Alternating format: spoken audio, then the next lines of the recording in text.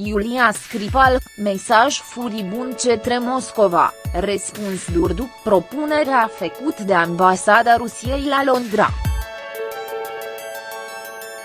Iulia Scripal, care a fost otrăvit alturi de tatăle ei, Sergei Scripal, un fost spion rus, a declarat ce nu va accepta ajutorul oferit de ambasada Rusiei la Londra, conform unui comunicat publicat de Poliția Metropolitan, scrie The Guardian.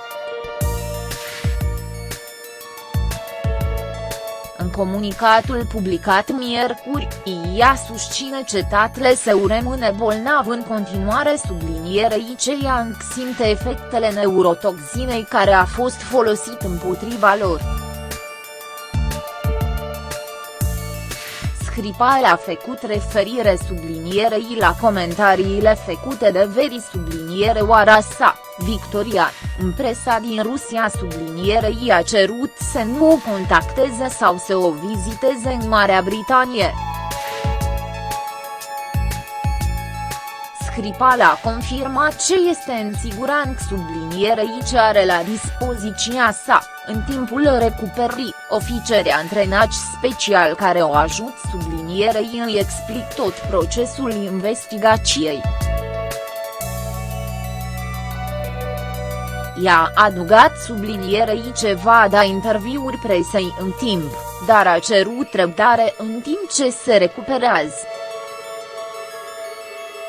Comunicatul vine la două zile după ce a fost externat de la spitalul din Salisbury.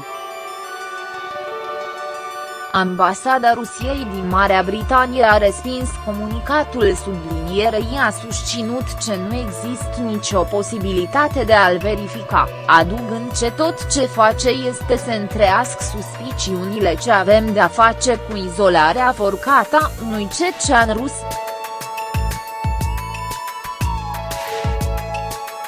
Comunicatul este transmis după ce relațiile dintre cei care locuiesc pe strada familiei Scripal sublinierei autoricii s-au deteriorat în ultimele zile.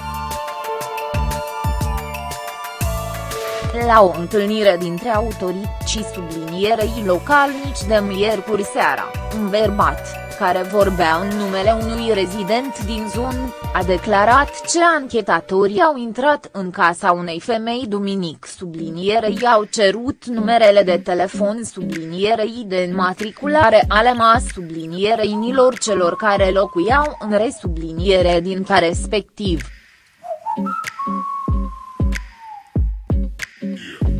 Polici sublinierii au spus ce, din cauza ce Geredina ei este lipit de casa spionului, atacatorii ar fi putut să sar peste Geredin pentru a ajunge în casa lui, a declarat bărbatul.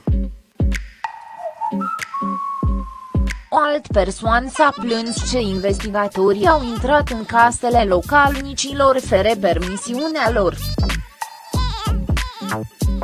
fostul spion rus care a lucrat pentru britanici, Sergei Skripal sublinierei fiica sa, Iulia Skripal, au fost otrăviți cu o neurotoxin pe 4 martie sublinierei au fost gezici în consubliniere tienci pe o banc din ora subliniereul englez Salisbury.